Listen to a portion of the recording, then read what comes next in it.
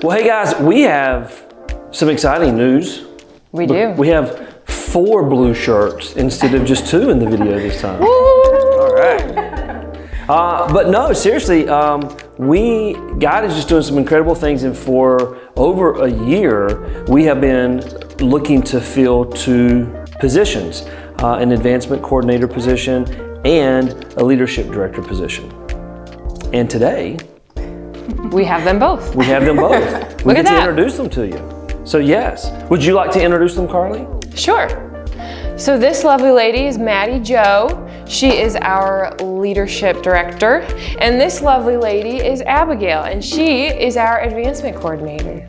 That's right. Mm-hmm. So you will be working a lot with Stephanie, uh, and they'll be teaming up together to do things like the Dragon Boat and our fall gala and marketing and all that kind of stuff to help people know all the exciting things that God's doing down here.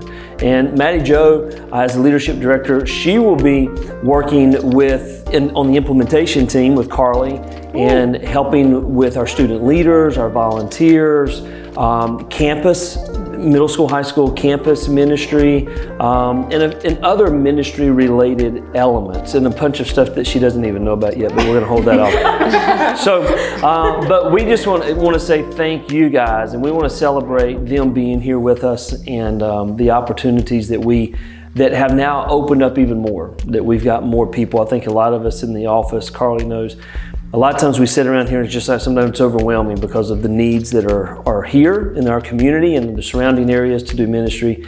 And uh, sometimes you just feel like there's just not enough people to really do that. And so God has blessed us with at least two more people.